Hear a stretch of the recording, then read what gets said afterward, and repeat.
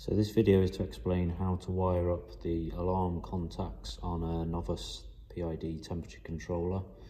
Uh, it's quite a common question we get asked, um, so we just thought we'd explain the wiring a little bit to people.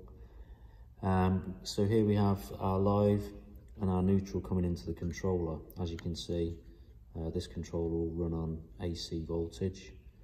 Um, we've numbered them 8 and 9, 8 for neutral, 9 for live.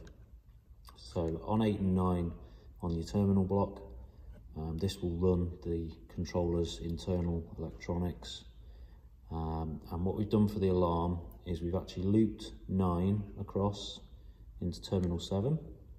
So that there's going to be a permanent live sitting all the time on terminal 7. Um, and then out from terminal 6, we've got another wire labelled here 6.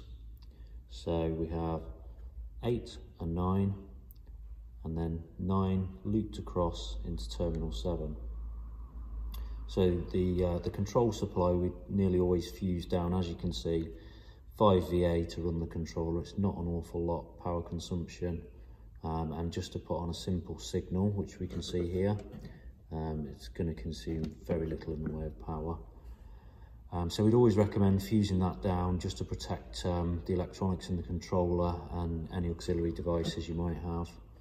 Um, and we're just going to follow those wires off now because 8 again we've looped and that runs all the way to our alarm.